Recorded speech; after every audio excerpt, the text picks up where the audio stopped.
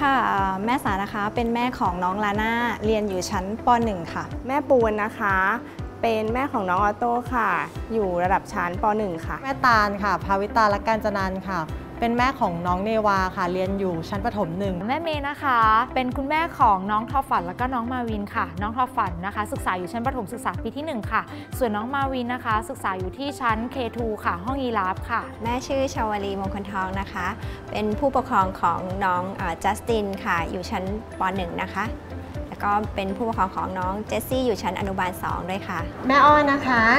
พ่อวีครับค่ะเป็นอ่าคุณพ่อคุณแม่ของน้องเอวานะคะ เรียนอยู่ชั้นประถมปีที่ 1 ค่ะ รู้จัก Mark for Future ได้อย่างไรนะคะ ก็คือว่าอ่าลูกเพื่อนค่ะเขาเรียนอยู่ที่นี่ และทีนี้เราเห็นว่าลูกเพื่อนของเขาเนี่ยสดใสดีเนอะเวลามาโรงเรียน เราก็เลยเข้าไปขอรายละเอียดกับเขาค่ะ ก็รู้จักเพจของน้องจินนะคะกับน้องเรนนี่รู้จักเพจของคุณแม่น้องจินค่ะ ว่าโรงเรียนเนี้ยค่ะ ก่อสร้างอยู่ใกล้ ๆ บ้านด้วย แม่รู้จักเอ่อ Mark for Future ใน Google Map ค่ะ คุณแม่เพิ่งย้ายมาอยู่แถวนี้ก็เลย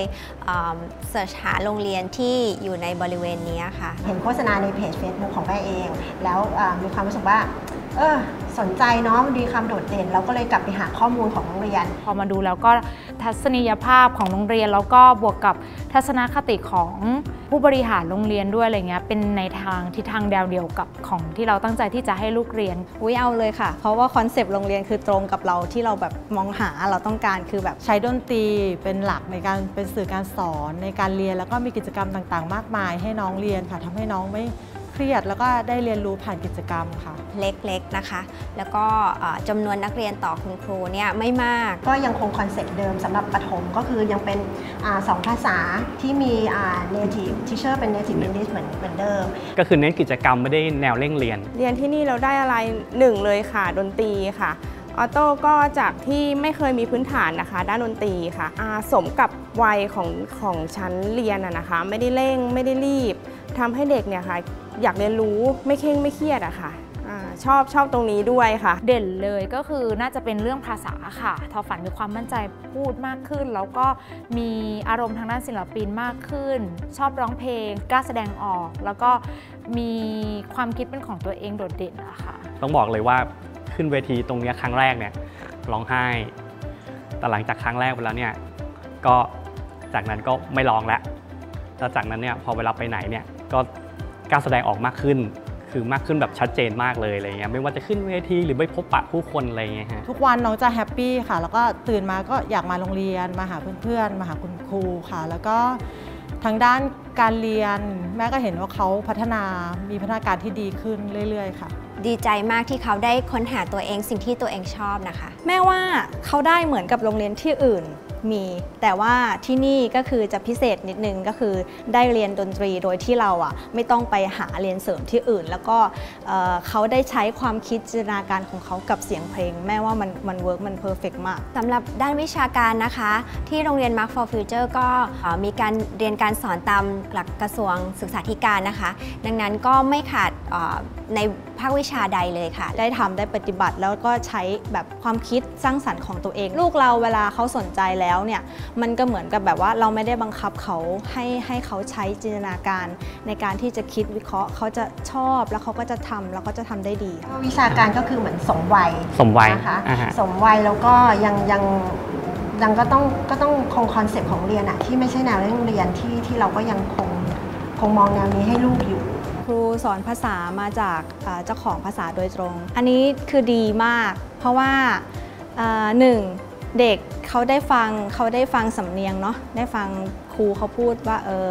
สำเนียงของอังกฤษเป็นแบบนี้ แล้วก็เด็กสมัยนี้ตั้งแต่ชั้นอนุบาลแม่ว่าเขาเก่งมาก เด็กเขาพัฒนาเร็วมาก เวลาฟังครูพูดเนี่ยเขาเอามาใช้ได้ เขาสามารถสื่อสารกับคุณครูได้แบบรู้เรื่องเลย ช่วงนี้ค่ะเป็นวัยที่เขากำลังจดจำแล้วก็ฝึกการพูด กับคุณครูที่เป็นเจ้าของภาษาเองได้ แล้วก็ออกเสียงได้ถูกต้องค่ะ คุณแม่ชอบมากเลยค่ะ เป็นสิ่งที่ประทับใจมาก เพราะว่าจำนวนนักเรียนต่อครูนะคะ เป็นอัตราส่วนที่น้อยก็คืออย่างห้องจัสตินก็มีนักเรียน 6 คนแล้วก็ต่อคุณครู1ท่าน แล้วก็คุณครูผู้ช่วยอีก ก็ทำให้เอ่อเราสามารถรู้ปัญหาของลูกได้ แล้วก็รู้ว่าลูกมี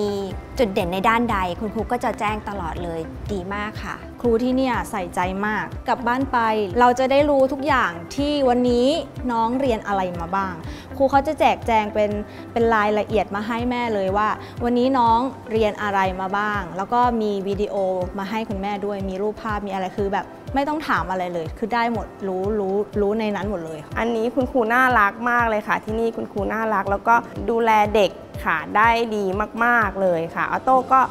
เป็นคนหนึ่งที่อยากต่อป .1 เพราะว่าคุณครูด้วยค่ะ ไม่มีอะไรที่ขาดตกบกพร่องเลยค่ะสำหรับคุณครู ข้อดีของโรงเรียน Mark for Future ในยุคโควิด ที่คุณแม่สังเกตได้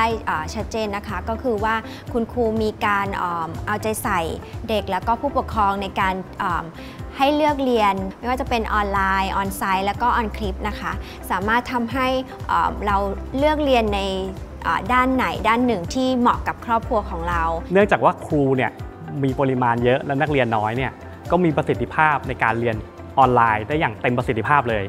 คือแทบเหมือนจะแทบจะเกือบจะเรียนตัวต่อตัวเลยเนาะมีเรียนเดี่ยวด้วย แล้วก็มีเขาเรียกว่าอะไรอะอุปกรณ์การเรียนไปให้ถึงที่บ้าน ไม่ว่าจะเป็นคีย์บอร์ดอะไรนะกีตาร์คืออ c เซสซอรี่คือครบมากเลย คือไม่ต้องไปซื้ออะไรมาเลย คือมีเรียนเปียโนก็คือเรียนเปียโนคือเอาเอาอิเล็กโทรนมาไว้ที่บ้านเลย โรงเรียนเนี่ยจะให้ผู้ปกครองและเด็กทุกคนที่ใกล้ชิดนะคะในบ้านเนี่ยตรวจ ATK ก็ส่งก่อนวันอาทิตย์นะฮะแล้วคือไม่ได้ตรวจที่ตัวน้องคนเดียวนะคะ คือคือตรวจทั้งครอบครัวเลยครอบครัวมันก็ทำให้สร้างความมั่นใจอ่าฮะให้กับให้กับผู้ปกครองแต่ละบ้านมากขึ้นอ่าฮะทางด้านสุขอนามัยของเขา ไม่ว่าจะเป็นอ่า การใช้พื้นที่ส่วนรวมด้วยการเข้าห้องน้ำอะไรเงี้ยเขาก็แบ่งแยกได้ชัดเจนดีค่ะ บุคลากรคุณครูอย่างเงี้ยค่ะ ทุกท่านก็คือจะต้องฉีดวัคซีนครบ 2 เข็มแล้วเรียนก็ได้ใช้ iPad เป็นสื่อในการเรียนการสอน ซึ่งแม่ก็ชอบตรงจุดนี้มากนะคะเป็นเป็นอีกข้อหนึ่งที่ตัดสินใจเรียนประถมที่นี่ก็คือว่าเขามีวิชาเสริมที่น่าสนใจมากในการอย่างเช่นวิชา Art on iPad หรือวิชาทำเพลงใน iPad อย่างเงี้ยค่ะแล้วก็อีกวิชาก็เป็นดราม่าอย่างเงี้ยค่ะคือทุกวิชาเนี่ยมันมันทันร่วมสมัยค่ะแล้วก็เด็กๆเขาจะได้ไปใช้งานจริงในอนาคตต่อไป คือถ้าเป็นแบบเก่าอะค่ะ ที่นั่งเรียนในห้องธรรมดาเนี่ยเด็กต้องเบื่อแน่ๆเลย แต่พอมี iPad เข้ามามีเทคเทคโนโลยีใหม่ ๆ เข้ามาเนี่ยนะคะ เด็กก็จะโอเคแล้วก็ชอบชอบเรียนรู้ แล้วก็เป็นการเรียนรู้ที่ทุกได้ทุกที่ทุกเวลาที่เขาอยากเรียนรู้ด้วยอะค่ะ เรียนผ่าน iPad Pro นะฮะก็โอเคน้องก็คือมันมันดีตรงที่ว่ามันทำให้ iPad ที่บ้านเนี่ยมีประโยชน์มากขึ้นด้วย คือนอกจากน้องก็ใช้เล่นเกม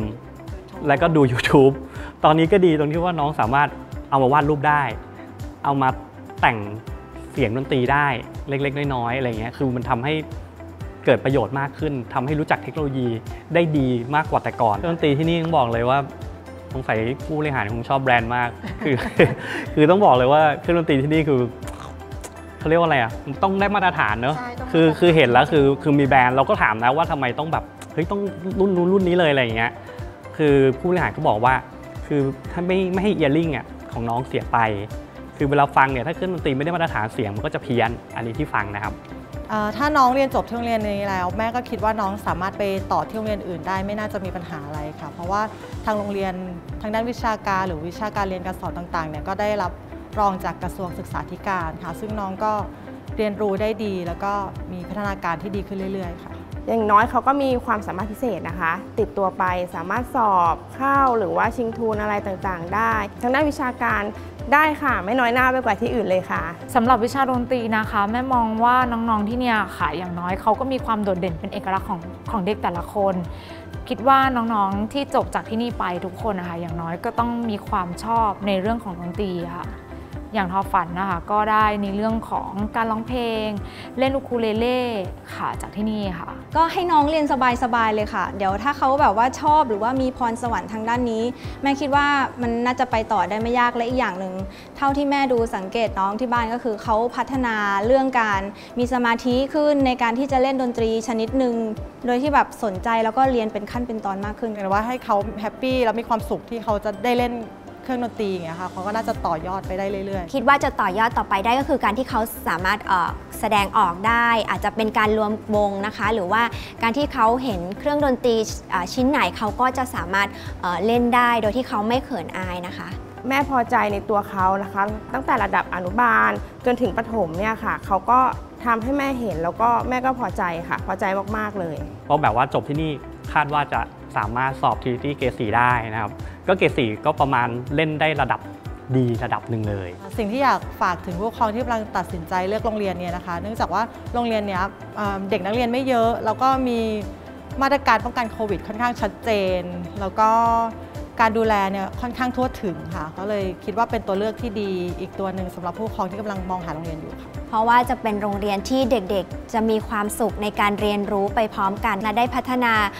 ทักษะของเด็กๆ อย่างแท้จริงค่ะ เพราะโรงเรียนที่เนี่ยคือได้ทุกอย่างที่ที่เราอยากจะได้ แล้วก็เขาสอนให้ลูกอะไม่ใช่เฉพาะพัฒนาการทางด้านวิชาการ มีดนตรีเข้ามาด้วยแล้วก็เด็กได้ใช้ความคิดของตัวเองแบบเปิดมาก แล้วก็สร้างสรรค์ความคิดเขาไม่ได้ปิดกั้นว่า แล้วก็ให้เขาแบบรู้สึกอึดอัดไม่อยากมาโรงเรียน อันที่เนี่ยดีมากพัฒนาลูกทุกทุกด้าน ก็ที่นี่ค่ะเป็นอีกหนึ่งโรงเรียนทางเลือกนะคะ ทั้งบุคลากรทางคุณครูนะคะที่พร้อมใส่ใจดูแลนักเรียนนะคะ แล้วก็เป็นโรงเรียนที่เหมาะสำหรับเด็กเล็กนะคะ สะอาดปลอดภัย แล้วก็นักเรียนน้อยค่ะ ถ้าเทียบกับเขาเรียกว่าอะไรนะค่าเทอมกับที่นี่ถือว่าคุ้มเพราะว่าที่นี่เป็นสองภาษา แล้วก็เป็น native ด้วย แล้วอุปกรณ์ต่างเออๆคือคือถ้าเทียบแล้วเออคุ้มคุ้ม เพราะว่าอุปกรณ์ในการอ่าแอสเซสซอรี่ในการใช้ในการ run กิจกรรมอืมถือว่าค่อนข้างมีราคา อยากฝากถึงคุณพ่อคุณแม่ทุกท่านนะนะคะ ที่ตัดสินใจอยากจะลองมาดูที่นี่นะคะ ลองลองเข้ามาดูก่อนนะคะ แล้วก็ รับรองค่ะว่าเด็กๆต้องชอบแน่เลยค่ะ เรียนรู้อย่างสนุกสนานผ่านวิชาดนตรีที่ Mark for Future ค่ะ เรียนรู้อย่างมีความสุขผ่านเสียงดนตรีกับ Mark for Future ค่ะ โรงเรียนนี้ก็สนุกดีค่ะ แล้วก็ส่วนตัวคิดเลยค่ะว่าถ้ามีลูกหรือหลานอีกคนนึงอะไรอย่างเงี้ยค่ะ ก็จะให้มาเข้าโรงเรียนที่นี่แหละค่ะ เพราะว่าแฮปปี้ทุกวันค่ะ เรียนรู้ผ่านการเล่นนะคะทำให้เขาพัฒนาแล้วก็มีความสุขค่ะ เรียนรู้อย่างสนุกสนานผ่านเสียงเพลงค่ะ คือแค่เด็ก รู้สึกอยากมาโรงเรียนทุกวันพูดบอกว่าอยากมาโรงเรียนทุกวันเนี่ยก็ถือว่าเป็นโรงเรียนที่ดีที่สุดแล้วแหละ